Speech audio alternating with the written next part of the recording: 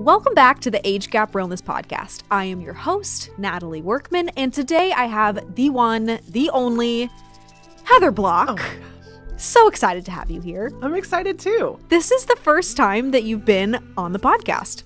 On a podcast. Any podcast? Yeah. This is your first. I'm taking your mm-hmm. podcast virginity. 1000%. Oh my gosh! I couldn't think of a better person. Quite That's honestly. so true. So true. Yeah. This will be the best podcast you ever do. I believe it. It might also be the worst because it's the only at this point. it's fun. Well, Whatever. the bar's set. It's yeah, it's totally fine. Either way. Why it's so shocking to me is because Heather is in this space often with us. I feel like you are a part of this podcast production, but you're like this quiet little voice behind it. You're not on it. So now you're here. And here I am. Here you are. Can we tell everybody our first interaction with each other? Let's do it. Do you remember our first interaction? Very well. Okay, so walk me through how we met. Oh my gosh. Okay. So, well, this was like 2010, Mm-hmm. right? Uh, so at Audigy Group, and uh, they had told me, well, I was doing events, right? Doing multiple things back in the day, wearing multiple hats. Still Um, do. st- yeah. yeah. Anyway, uh, they said, hey, good news. Uh, we're going to get you an, a summer intern to help with this big event that we had coming up in September. Uh, and, and she can help you uh, do uh, stuffing binders and creating all the collateral. Taking away all the paper cuts. Yes, no paper cuts for you. And I was like, I had 800 binders to do. So it was like, or actually, I think it was like 500. I I'm think it was more like 8,000. Okay, we'll say My 8,000. memory serves 8,000. Let's do that. So, spoiler alert: the uh, intern is Yours truly. Natalie Workman. And so, you know, we're on the third floor. Uh, or it Guys, this was my floor. first job. Like, let's just, from my perspective, very first time I've ever worked in a corporate environment. And this one Good setup. is Good setup. my boss. You were Uh, my boss. I guess we could call it that. Yeah, you were. Okay, that's we'll call it that for the moment. Um, so then the the elevator opens on the second floor, and out it's like a ray of sunshine came out of the elevator, and out walks a set of legs, just legs, because she had on. It was summer. It was summer, It was summer. and you had on the shortest shorts. Ever and you have this long blonde hair and this sweet innocent face. So red been- wedges. They And were red wedges. wedges. The shorts were red too. Oh, I think the, shirt was red. I don't remember because of the legs and the, the legs and the hair and the hair and the Ooh, legs walking around with the legs. I really thought that was a professional look too. You looked great. Let's not underplay the fact that you looked great. And I was supposed to carry these boxes that were heavy with the Oh binders yes. in them, and Binders. so I bend over. Your- and you had your red red wedges on. day one on the job, Yeah, making really great in a work impressions, environment. really thinking they're going to hire me for a long term position. Uh, yeah, but you were so you were so sweet too, and you were humble. And that honestly, yes, I remember the legs, but honestly, I do remember just your your attitude and your willingness to do literally whatever. She's yanking my chain right now. but I'm not joking. No, I'm really not. Uh, you you always have had that like, I'll yes, I'll do whatever. That's fine. Nothing was like, it wasn't beneath you, Mm. and because you sat in a cubicle with boxes of binders, Eight thousand of them. you know the kind that you that are clear on the front. You and you like we printed. I think you might have even trimmed them to get the white border off because we printed them in house. there were multiple steps to getting these binders stuffed. And then not only were there multiple steps in the first way that the binders were supposed to be stuffed, but I got hired for an extra week because the binders needed something else. Oh, there was a round 2 of the stuffing. so I think I like had to take out the first things and put in the second things and I was still probably wearing you know, three inch shorts at the time, my spandex for volleyball. That was a hot mess. There was no full time position extended at that moment. well, not at that particular time. No, no. just wasn't was- there just wasn't a position at that time but it wasn't because of your shorts don't worry Oh, thank God. because your your stuffing skill set is was on point Mm, some serious stuff games. or stuff game. I think that's what I meant to Hmm. say. hashtag something All right. Anyway, so you have worked with one other guest that happens to appear on the show quite frequently, Mr. Brandon Dawson, Hmm. Yes. for how many years now? 10 10 Mhm. years. yeah yeah almost almost crazy. 11 It's crazy that couple you've known each other for almost 11 years. i know yes it is it's it's it's, it's awesome So, how did you is. start with Brandon?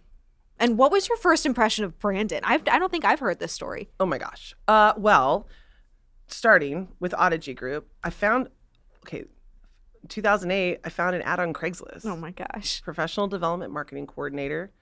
And I was looking for something new because I was working for a print company. Economy wasn't doing that well. A lot of those kinds of businesses were going out of business. Mm. So I was like, well, let's find something new. Uh, I ticked the boxes for all of the, the requirements and I had an interview uh, with, at the time, because Audigy wasn't very big. And so it was out, the HR was outsourced to Minnesota. Oh. Yeah, Terry Frayne was her name. Okay. Terry, if you're watching this. No, I don't even know where the camera's at. It's really dark in here Somewhere. anyway, uh, and then she said, "Hey, we want you to come in." And then my first in-person interview was with, at the time, Ashley Schmitz, Mm-hmm. who is now Mrs. Mason Walker, Mm-hmm. Ashley Walker, and uh, and then she wanted me to come back for a third round with the executive team. Brandon actually wasn't a part of my third round, which Okay. was a live presentation. I had five minutes to teach them to do something. and that's when I demonstrated, at the time, my PowerPoint skills. Uh, and Not your binder stuffing skills? not my binder, and I did not wear short shorts. Missed opportunity. That was really. a missed opportunity. Although I did get the job. So How that- did they hire that. you? Why did they know, hire it's you? Crazy. It's crazy. Your PowerPoint Uh, skills really were what you showed them? Well, I I I figured it out. I didn't actually know how good I was at PowerPoint. I, they just funny? said teach us something, and You're I was like, like, okay. I so know how to do yeah, this. I so I did, and uh, yeah, I got hired. Um, and then you know, it's funny. My first my first time I actually met Brandon was in Palm Springs at an event at a Patients for Life event. That like a couple weeks later. Okay. So my first impression was him walking into the room, and let me just tell you, back in the day, Oh, Hawaiian mean, shirt? every- Did have a well, no, Hawaiian he shirt on? not- he did not oh, have- okay. no. All right. Guys, he used just- to wear Hawaiian shirts. I don't know if we've talked about this. Can you Mm. even imagine Brandon in a Hawaiian shirt? no, because I no, No, but that's that's what he used to wear. but I can't imagine him in a polo. In a polo, because he still Lot- wears polos. he He, likes just the wears polos. nicer, less colorful polos these Uh, days. yeah, those other polos were not for anybody. And he still has all of them. They're sitting in his closet. I just because they have your don't name allow him- embroidered. Back in the day, Audigy employees got their name embroidered on it. Brandon Dawson, I had Heather Demery on there. and now you're Heather Block. I'm Heather Block, yeah. So, yeah, so he, he my first impression was him in front of the room doing his thing, right? Like like a lot of people's Mm. Solid first impression. first impression. Great first impression, right? But there was always this ushering around him. It was almost like he was a he's like a celebrity. Like you couldn't talk to him. You're like nobody can talk to him. No, no, don't talk to him. Don't talk to him. It- you know, I had to go through people to talk to him at first. And then I was just kind of like, oh, like I was kind of like scared, right? Yeah, Because it made you CEO. nervous, yeah. made me nervous. Yeah, so How it many- wasn't. Yeah, How many team members were there? Uh, I was the 37th employee.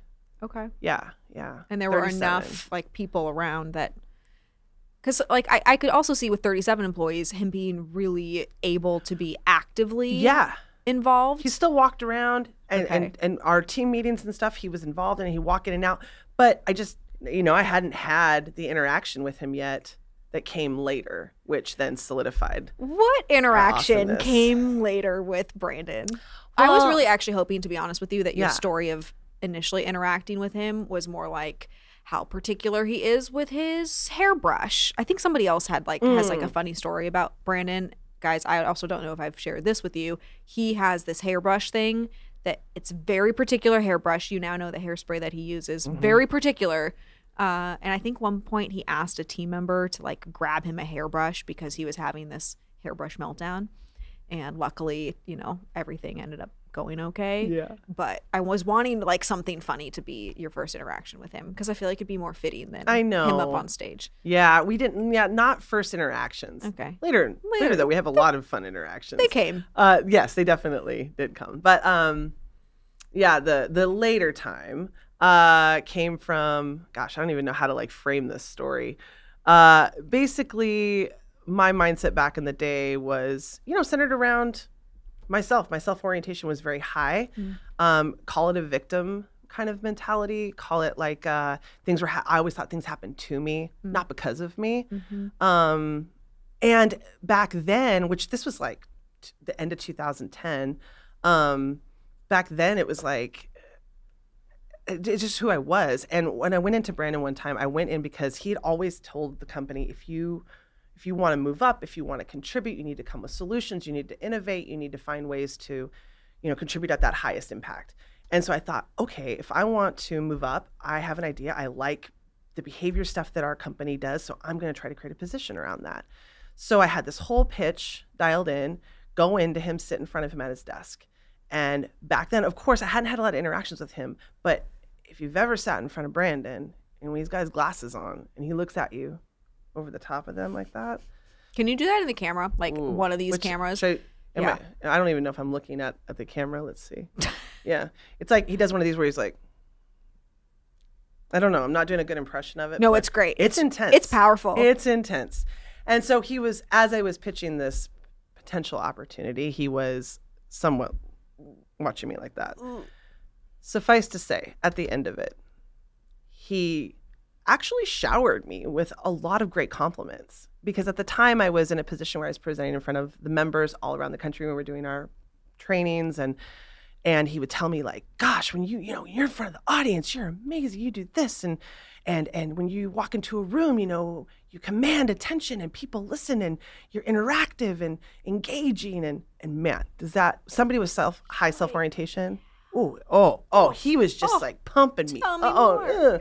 Yeah loving that right uh and then you know then came the super look over the top of his glasses you know where he was like look 85% of the time it's amazing but 15% of the time screws it all up now use a different word what what word did he use? seriously What? You You, can cuss on the show. all right he said 15% of the time fucks it all up and he just stared at me but then he stared at me like i think that's the that's the the visceral feeling i got at that moment you know that feeling that like it starts at the top of the back of your neck and like it, it's a chill that goes down and it kind of like encompasses your chest i can feel it right now as i'm describing it and like you it's a panic almost Yes. like my instantly my hands start getting like clammy Is your mouth dry? Mhm. Yeah, I mean, like right now, I, I I won't forget that moment because then the next thing he said to me was, you know, if you think that I'm going to have somebody represent our company at that level, where I know that 15% of the time they might fuck something up, Mm. you're sorely mistaken. Because for me, you got to be a minimum of 5%. You know, you got to be 95 5. 95% of you is always great to go and I know that maybe there's there's a little bit of wiggle room there, right? You don't have to be perfect, Yeah. but you have to have But 95% confidence. High, high confidence. That's the confidence meter, right? Mm-hmm. That was my first real interaction was the confidence meter. I didn't realize that this was one of your first interactions with him. Real I thought that ones. you had Yeah. more contact points. I didn't we didn't. this. Yeah, we really didn't. Um, I mean, he was very cordial and awesome and fun every time I was around him, but we weren't. Mm-hmm. We didn't have a real deep uh, relationship at that particular point. Mm. Um, but he knew about. I mean, people talked. You know, my supervisors and whoever was managing me or whoever in the company knew me. Like he knew things. Mm-hmm. Like the company, you know, he knew. He knew. He has this ever he present, this like omnipresence. I'm not yes, joking. It's he really crazy. is. It's it's interesting how information gets passed to him and how quickly he can filter Mm-hmm. good information or bad information and then get to the right conversation that needs to be had. That's right. And and and yes, and know what's going to I love it because he's very black and white in that sense like what's going to contribute to what we're trying to achieve and what's not. Mm-hmm. Let's have the conversation about what is going to contribute to it. And so that's what he helped me hone in on. And he told me at that moment, you know, when you walk out of my door, like literally he pointed to the door frame, right? Like when you walk out that door, you're going to decide if you're going to be 95.5 or mm-hmm. stay 85.15. And if you choose 85.15, then you can just keep walking out the main door. Right? Like basically that's what it was. on keep going. walking. And You're I and he was like, and then he looked at me and said, "So what do you choose?" Like even before I was going to walk out, he wanted my commitment. And uh and I said, "I no, I'm going to be 95.5." Mm. And then he and I talked through and he held me accountable to creating my own development plan and how I was going to get there, right? He held me accountable to that and he did some cool things where he said, "Who are the people that you have the most trouble with in the organization? Like, you know, those are going to be your accountability people that I'm going to go to at any given time and ask how you're doing. They're going to know everything that happened today, what you're trying to achieve, and I can call on them at any point and find out your progress."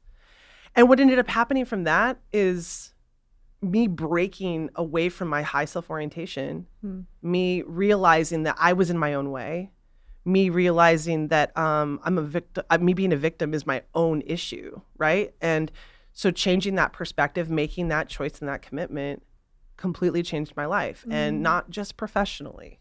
Mm. You know, it changed it personally. Mm-hmm. Like I got out of a really destructive relationship at home because Mm. of Brandon's ability to help me see something different, which he had, didn't know for years, right? Like, I, I still don't think he really even understands the impact that he has on me. So, I think he does. yeah. I think he does. He loves you a lot. Well, I love him a lot. I think he's always. I, I didn't know you when you first met him, so I have only heard like stories of the early days, and like I love hearing them. I can hear them over and over. Like, give me some popcorn. Uh, but what I yeah, right, but what I love so much is you guys have this strong connection today that is rooted in both of you guys having changed so much and having grace in the relationship, but also holding each other highly accountable. And in the same way that Brandon held you accountable, I feel like the team of people, you have helped hold him accountable to the type of leader or person that he wants to be, that he's supposed to be. So it's like, it's this really beautiful thing that you probably don't see as much on his side that he feels that way, but I know he does. Like, oh, Heather thinks that I'm this person, so I have to be this person. Mm. So Yeah. anyway, I wanted Yeah. to share that with you. Well, thank you. Because that You're does mean welcome. a lot. Yeah, because you, you get to see that side of him that I obviously I do. don't. Although, as the years went, went on, I get to see a lot of behind the scenes now, which is awesome. Yeah. So how has Yeah. how has that changed? So you had this moment. This was in 2010, Uh, 11. 2011. Yeah, 11. Yeah. So like 12, eight-ish years ago. yeah. Eight. Is that right? Uh, yeah, yes. Math is not. Math is hard. Uh, it's Saturday morning right now. I got a lot of and analyzer Maybe it's me. Saturday afternoon. it I, what time is it? I don't. It kind of looks like it's midnight What here. What day is it? Mm. October? Is it 2020? anyway, that was quite a few years ago. Yes. Your relationship with Brandon has obviously changed. Yeah. Your relationship to what you work on has changed. Absolutely. You've changed. You're in a different relationship. You've moved Yes. from Heather D to Heather B. B. The amazing Nate Block has come in and changed your whole life, which is Hmm. Also amazing. And some like just huge things have happened over the last few years. I know. It's been a literally transformative decade for me, quite honestly. Um, so after, you know, after that interaction, my professional career just like skyrocketed, right? Like because we figured out like where, where my talents were that contributed to the organization. Um, and that meant being able to create content directly for Brandon at first, and then for the rest of the executive team, and then for the company, and then for multiple companies. And then it just like, you know, it just morphed and morphed. And, and so I just kept trying to see like, where's the next opportunity? This is what Brandon always talks about. Where you see an opportunity, slot yourself in see where how you can how you can fit and how you can contribute and then duplicate and duplicate so each department or thing that i did we were able to duplicate it right across mm-hmm. multiple verticals and that just like that's transformative in and of itself right just like the sh- the, the the feeling of confidence that you get in yourself just helping helping build things like that That was part one of my conversation with Heather. Tune in next week for part two.